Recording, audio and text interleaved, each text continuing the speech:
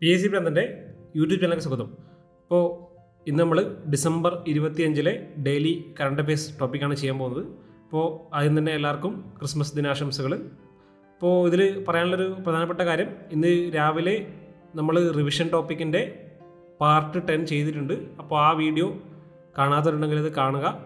നമ്മൾ ഏകദേശം പത്ത് വീഡിയോകളിലായിട്ട് കുറേ ചോദ്യങ്ങൾ തന്നെ ഡിസ്കസ് ചെയ്തിട്ടുണ്ട്. അത് എല്ലാ മാസങ്ങളിൽ നിന്നുള്ള മിക്സഡ് ആയിട്ടുള്ള ചോദ്യങ്ങളാണ് ഡിസ്കസ് ചെയ്തിട്ടുള്ളത്.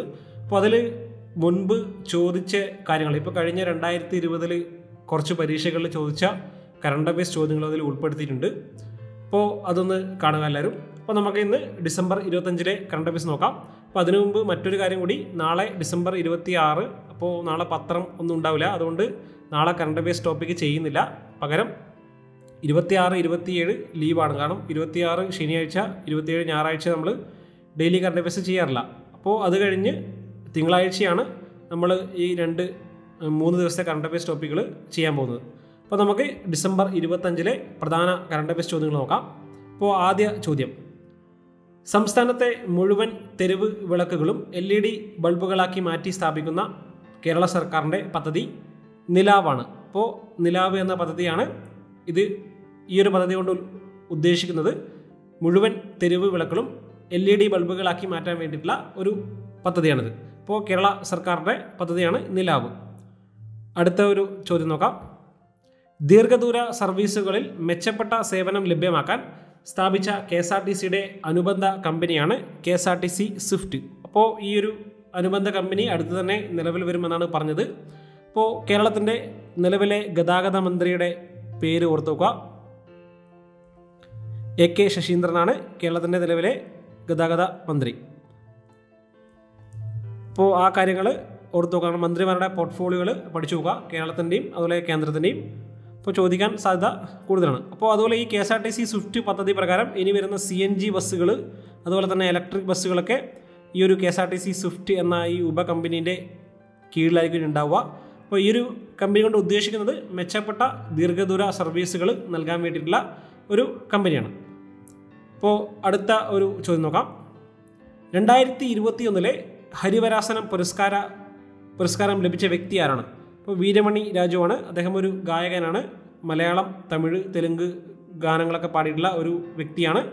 ഭക്തിഗാനങ്ങളൊക്കെ പാടിയിട്ടുള്ള വ്യക്തിയാണ് വീരമണി രാജു. അപ്പോൾ അദ്ദേഹത്തിനാണ് രണ്ടായിരത്തി ഇരുപത്തൊന്നിലെ ഹരിവരാസനം പുരസ്കാരം ലഭിച്ചിട്ടുള്ളത്. അപ്പോൾ ഈ ഒരു ചോദ്യം പി എസ് സി നിരന്തരമായിട്ട് ചോദിക്കുന്ന ഒരു ചോദ്യമാണ്.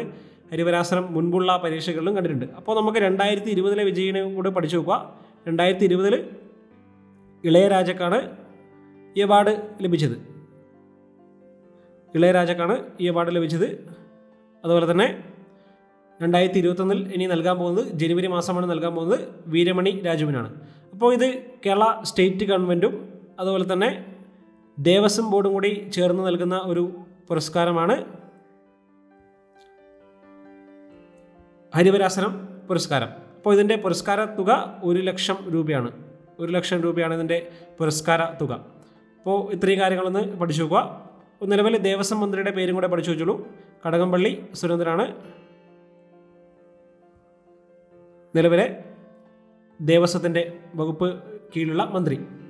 അപ്പോൾ നമുക്ക് ഇത്രയും കാര്യങ്ങൾ പറയാനുള്ളൂ. അപ്പോൾ ഇതിലെ കറണ്ട് അഫയേഴ്സ് ടോപ്പിക്കാണ് രണ്ടായിരത്തി ഇരുപത്തൊന്ന് ഹരിവരാസനം പുരസ്കാര ജേതാവ് വീരമണി രാജു. അപ്പോൾ അടുത്ത ചോദ്യം നോക്കാം. രണ്ടായിരത്തി ഇരുപത്തി ഒന്ന് ഫിഫ ക്ലബ്ബ് ഫുട്ബോൾ ലോകകപ്പ് നടക്കാൻ പോകുന്നത് ഖത്തറിൽ തന്നെയാണ്. രണ്ടായിരത്തി ഇരുപത്തിരണ്ടിലാണ് ഖത്തറിലെ വേൾഡ് കപ്പ് നടക്കുന്നത്. അപ്പോൾ അതേ സ്റ്റേഡിയത്തിലാണ് ക്ലബ്ബ് ഫുട്ബോൾ ലോകകപ്പ് നടക്കാൻ പോകുന്നത്. അപ്പോൾ ഫിഫ ക്ലബ്ബ് ഫുട്ബോൾ ലോകകപ്പിന്റെ ഇതിനു മുൻപുള്ള വിജയിയാണ് ലിവർപൂൾ എഫ് സി ആണ് അപ്പോൾ ലിവർപൂൾ എഫ് സി ആണ് ഇതിനു മുമ്പ് ഫിഫ ക്ലബ് ഫുട്ബോൾ ജേതാവായിട്ടുണ്ടായിരുന്നത് രണ്ടായിരത്തി പത്തൊമ്പതിൽ അപ്പോൾ ഇനി മറ്റൊരു ചോദ്യം കൂടിയുണ്ട്. രണ്ടായിരത്തി ഇരുപത്തൊന്നിൽ നടക്കാനിരുന്ന FIFA under seventeen under twenty ലോകകപ്പുകൾ ഏത് വർഷത്തേക്കാണ് മാറ്റിയത്? അപ്പോൾ കോവിഡ് കാരണം രണ്ടായിരത്തി ഇരുപത്തൊന്നിൽ നടക്കാനിരുന്ന ഫിഫയുടെ അണ്ടർ സെവന്റീൻ അണ്ടർ ട്വന്റി ലോകകപ്പുകൾ രണ്ടായിരത്തി ഇരുപത്തൊന്നിലേക്കാണ് മാറ്റിയത്. അപ്പോൾ ഇതിൽ അണ്ടർ സെവന്റീന്റെ വേദി ഓർത്ത് നോക്കുക. അത് പെറുവിലാണ്. അണ്ടർ സെവന്റീന്റെ വേദി പെറുവിലാണ്. അണ്ടർ ട്വന്റി ലോകകപ്പിന്റെ വേദി ഇന്തോനേഷ്യയിലാണ്. അപ്പോൾ ഇത് പുരുഷ ലോകകപ്പാണ്. ഇന്തോനേഷ്യയിലാണ് അണ്ടർ ട്വന്റി വേദി. അപ്പോൾ ഈ വേദികളിൽ മാറ്റമില്ല. അങ്ങനെ തന്നെ രണ്ടായിരത്തി ഇരുപത്തൊന്നിൽ നടക്കും. അപ്പോൾ ഇതിൽ പറയാനുള്ള മറ്റൊരു പ്രധാനപ്പെട്ട പോയിന്റാണ് രണ്ടായിരത്തി ഇരുപത്തിരണ്ടിൽ നടക്കാൻ പോകുന്ന അണ്ടർ സെവന്റീൻ വനിതാ world cup women's world cup എവിടെയാണ് നടക്കാൻ പോകുന്നത്? ഇന്ത്യയിലാണ്. വനിതകളുടെ അണ്ടർ സെവന്റീൻ ലോകകപ്പ് നടക്കാൻ പോകുന്നത് ഇന്ത്യയിലാണ്. അതും കൂടി പഠിച്ചു നോക്കാം. അപ്പോൾ അടുത്ത ഒരു ചോദ്യം. ഇന്ത്യയിൽ നിന്നും പുതുതായി ഉൾപ്പെടുത്തിയ നാൽപ്പത്തി രണ്ടാമത് റംസാർ സൈറ്റ് ഏതാണ്? അപ്പോൾ സോക്കർ ബേസിലാണ് ഇന്ത്യയിൽ നിന്നും നാൽപ്പത്തി രണ്ടാമത്തെ റംസാർ സൈറ്റായിട്ട് ഉൾപ്പെടുത്തിയത്. ഇപ്പോൾ സോക്കർ ബേസിൻ ലഡാക്കിലാണ്. അപ്പോൾ ഈ സോക്കർ ബേസിൻ എന്ന് പറഞ്ഞാൽ രണ്ട് തടാകങ്ങൾ കൂടിച്ചേർന്നിട്ടുള്ള ഒരു പ്രദേശമാണ് സോക്കർ ബേസിൻ എന്ന് പറയുന്നത് അപ്പോൾ അത് ലഡാക്കിലെ ഒരു ചാങ് ചാങ്താങ് മേഖലയിലാണ് സ്ഥിതി ചെയ്യുന്നത്. അപ്പോൾ ഇതിൽ സ്റ്റാർസാഡുക് എന്ന് പറഞ്ഞ ഒരു തടാകവും അതുപോലെ തന്നെ സോക്കർ തടാകവും കൂടി ചേർന്നിട്ടാണ്. അതിലൊന്ന് ശുദ്ധജല തടാകവും മറ്റേത് ലവണ തടാകവുമാണ്. അങ്ങനെ രണ്ട് തടാകങ്ങൾ കൂടിച്ചേർന്നിട്ടുള്ള ഒരു പ്രദേശമാണ് സോക്കർ ബേസിൻ എന്ന് പറയുന്നത് അല്ലെങ്കിൽ സോക്കർ തണ്ണീർത്തട മേഖല. അപ്പോൾ അതാണ് ഇന്ത്യയുടെ നാൽപ്പത്തി രണ്ടാമത് റംസാർ സൈറ്റ്. അപ്പോൾ ഓർത്ത് നോക്കുക ഇന്ത്യയിലെ ടോട്ടലി നാൽപ്പത്തി രണ്ട് റംസാർ സൈറ്റുകളാണ് നിലവിൽ ഉള്ളത്. കാരണം രണ്ടായിരത്തി ഇരുപത് കണക്ക് പ്രകാരം നാൽപ്പത്തി രണ്ട് റംസാർ സൈറ്റുകളുണ്ട്.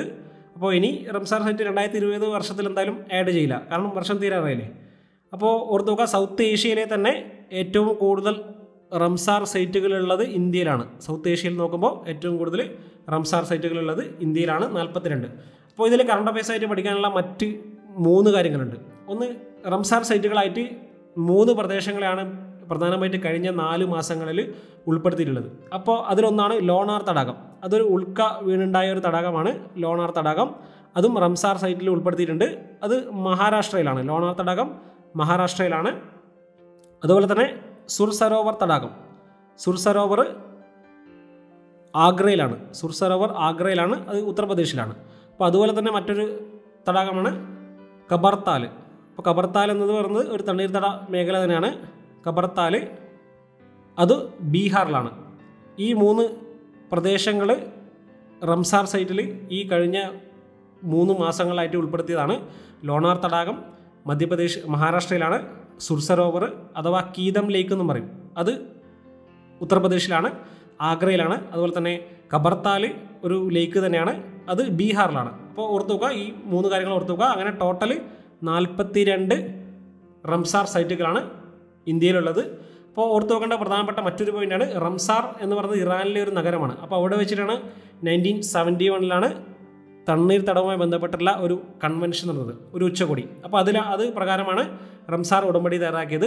അപ്പോൾ റംസാർ എന്ന് പറഞ്ഞാൽ ഇറാനിലെ ഒരു നഗരമാണ്. അപ്പോൾ ലോക തണ്ണീർത്തട ദിനം എന്നാണെന്നുള്ള ചോദ്യം കൂടെ വരാറുണ്ട്. ഫെബ്രുവരി രണ്ടിനാണ് ലോക തണ്ണീർത്തട ദിനം. ഫെബ്രുവരി രണ്ട്. വേൾഡ് വെറ്റ്ലാൻഡ്സ് ഡേ ഫെബ്രുവരി രണ്ടിനാണ്. അപ്പോൾ അടുത്ത ചോദ്യം നോക്കാം. ഇനി ഡിസംബർ ഇരുപത്തഞ്ച് ഇന്നത്തെ പ്രത്യേകതയാണ്. ഗുഡ് ഗവേണൻസ് ഡേ ആണ്.